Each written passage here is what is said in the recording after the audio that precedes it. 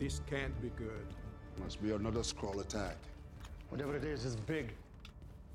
Has the Skrull ever simmed you? Once. It was deeply disturbing. Why? Because I stared into the face of my mortal enemy, and the face staring back was my own. Maybe if you were more attractive, then it would be less disturbing. You think you're funny, but I'm not laughing. You never laugh. I laugh on the inside. I'm not doing it now. It's funny because, objectively speaking, you are quite handsome. Listen up, team.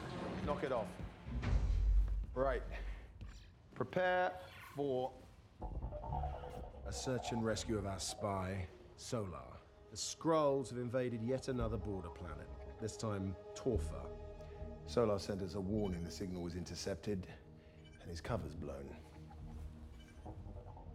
The Skrull General Talos has sent kill units to find him. Should they reach him before we do, the intelligence he's acquired over three years is as good as theirs. The accusers will bomb a Skrull stronghold here in the south. We slip in, we locate Soh-Larr, and we get out, leaving them none the wiser. The Torfan populace, we are not to interfere with them nor them with us. Nothing compromises the security of our mission. Proceed with caution. Follow protocol before extracting him. This is a dangerous mission. We must all be ready to join the collective if that is our fate today. For the good of all Kree. For the good of all.